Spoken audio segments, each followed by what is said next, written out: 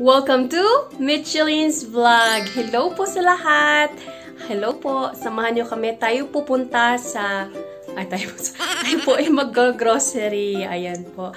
Hello nga pala sa mga bagong subscribers at sa mga napadaan lamang at naklik ito. Salamat sa pag-click. Please po hit the like button and share. Ito po ang aking buhay, Mexico.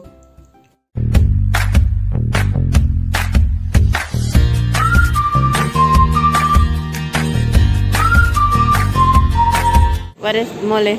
mix of more than 25 ingredients. You make enchiladas, you make, we can make everything. You show them enchiladas, you show mole en pollo, mole. May chismis akong nakita. No, only small one. I cannot finish it by myself. Pag nandito ako guys, palagi talaga ako dito sa dessert area.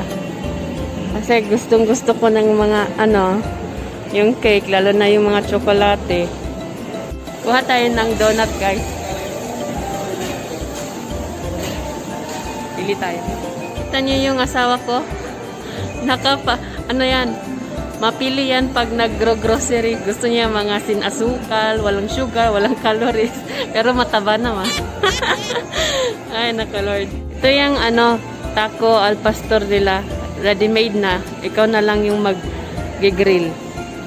Tignan nyo yung mga cut ng kanilang karne. Dito, nahihirapan ako maghanap ng pork belly kasi nga, yung mga karne nila, wala ng skin. Ayan.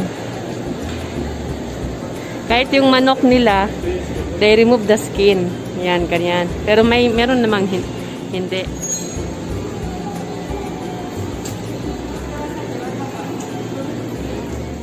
Bili tayo guys para magkakulay naman ang ating mga kuko.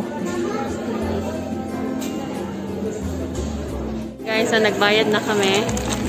Tapos, uwi na kami. Salamat sa panonood guys. Thank you. Ayan po, kakauwi lang natin. Ayan. So, salamat po sa panonood. Sana po supportahan yung aking mga video-video.